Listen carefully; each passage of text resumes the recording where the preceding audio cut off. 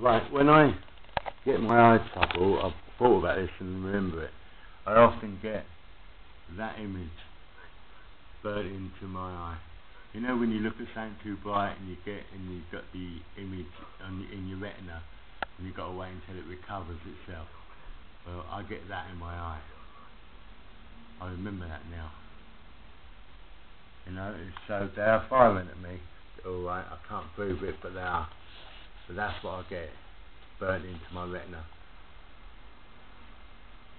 So, and that's what's caused it. It's them fuckers. I thought I'd do that. I wouldn't do a video on it. I know for a fact now.